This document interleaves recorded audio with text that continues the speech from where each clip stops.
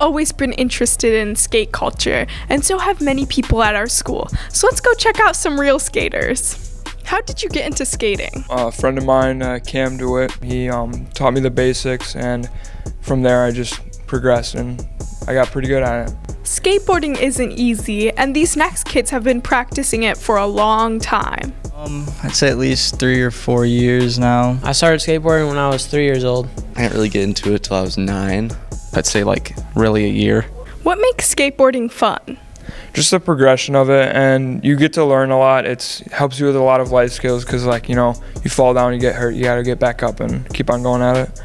I think it's a fun pastime. It's always fun to like keep on improving on something, I think. The fact that there's really no rules to it, it's not a team sport. You do your own thing. It kind of like eases my mind.